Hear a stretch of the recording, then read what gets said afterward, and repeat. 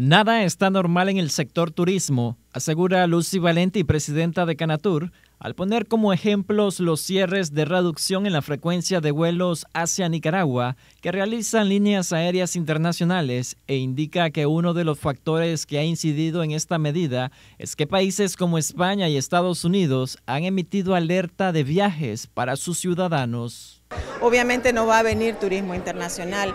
Y una muestra de que esa situación se mantiene es el hecho de que las líneas aéreas están reduciendo eh, su frecuencia eh, al país. Es solamente una pequeña muestra de que esa situación eh, se mantiene. Entonces la afectación en este sentido es pareja y es una realidad donde, insistimos, se ha vuelto normal ver estas situaciones y que tenemos que hacer que esto no se vuelva una normalidad.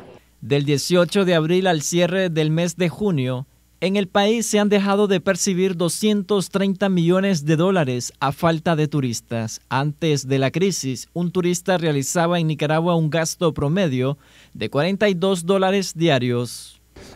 Por fin tuvimos eh, eh, un huésped el, sábado, así que bueno, es, una, es, un aliento, queremos seguir adelante, queremos trabajar, queremos empezar a, promocionarnos. No significa que todo esté perfecto. Según el gremio empresarial, la inestabilidad política y social puede terminar una vez que haya voluntad política de parte del gobierno al que se le ha pedido cambios estructurales en las instituciones y adelanto de elecciones. La solución que se llega es esa, obviamente, o incluso nosotros pensamos que una vez que haya ya un acuerdo en firme, aunque no se hayan dado las elecciones, pero ya hay un acuerdo y ya el país sabe que se va a enrumbar hacia un camino específico, el sector podría empezar a hacer los esfuerzos para tratar de recuperarnos de la crisis. Para que pueda haber de alguna manera alguna posibilidad de que esto se detenga, esa eh, respuesta política eh, que tiene que venir de parte de las autoridades a encontrar en el diálogo